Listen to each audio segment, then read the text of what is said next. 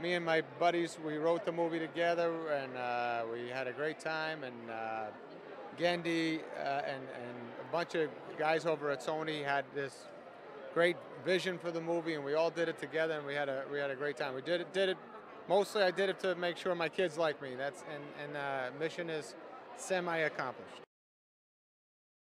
It's a movie about love. Uh, your a dad and a daughter loving each other, and him afraid to let go, and and just it's a sweet story. It's a sweet story, but it, there is a lot of jokes in there, and the kids have a good time.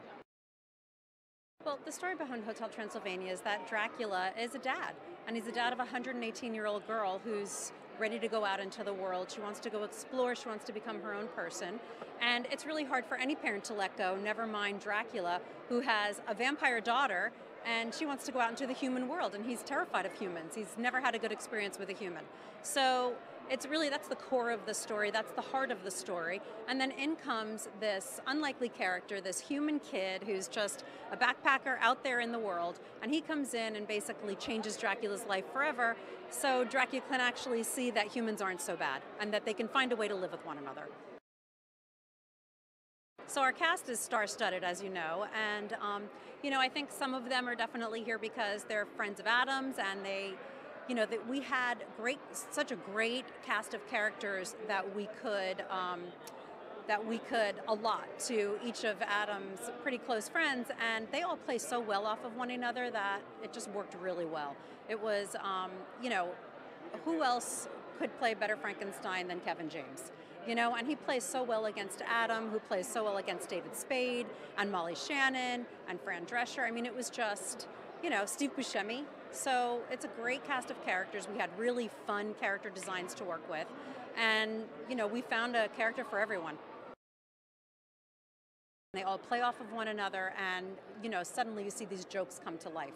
And also with the emotion, you know, Adam is really amazing at um, sort of doing the range of high highs and low lows, and all of them playing off of one another really helped that out as well. Well, I mean, I think there's something in it for everyone. There's really fun characters. The animation's amazing. The story's great. We have a really strong emotional story and we have a great comedy. So I think there's something in it for everyone. You know, there's some potty humor, but then there's also some really um, more adult humor that, you know, an adult can appreciate. A kid may, may or may not get.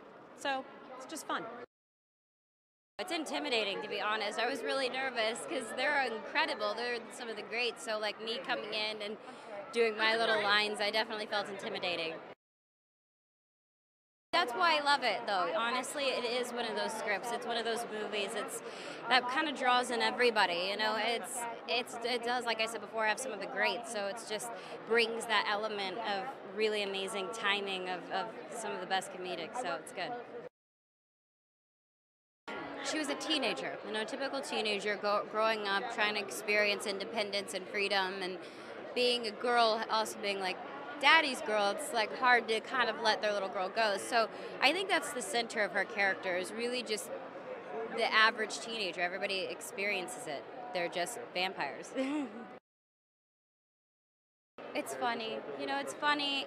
People can enjoy it. it it's a feel good movie, especially for father and daughters. I, I think it's a great film, so hopefully they'll enjoy it. It's a story about an overprotective dad who will not let go. And as the father of three daughters, uh, I kind of it, it, hit home. And Sandler's got two daughters, so we were always we we we were, we were excited to make a movie that our daughters would really love. He he brings a lot of humor to Dracula. Uh, but it's funny, he really brings this very warm, fatherly feel to this monster you know, there's so many comedians. Uh, David Spade, just everything he says makes me laugh. Uh, Selena, as the daughter, was just the home run of all home runs. My daughters actually said to me the other day, they go, Daddy, how did you get Selena Gomez in your movie? And I said, Well, we got lucky. And uh, CeeLo came in. He added, I mean, just such a great sounding voice. And as the mummy, I think you can see the mummy behind me over here. Kevin James. I mean, we had a lot of comedians, and then uh, the other people just kind of went with the flow. Fran Drescher. I've loved Fran Drescher forever. We were so excited to get to work with her. And Steve Buscemi, of course, you know, I would always laugh. I'd be like, "Oh, what award are you going to pick up after this recording session, Steve?" Yeah, but he's he loves comedy, and uh, it just everyone wanted to have fun, and it, it was really fun to have all those people just enjoying each other and, and making it as fun as possible. Well, Dr. Luke brought up the opportunity and broke down the story of the movie and the cast and was like, yo, do you want to do the theme song for it? We can do a remix to your song Problem. And I was like, yo, I'm so in, let's do this. So it happened that way. Will I Am is featured on the song, and he was so in for it. We shot the music video, everything came out awesome, and I'm just really, really happy to be here.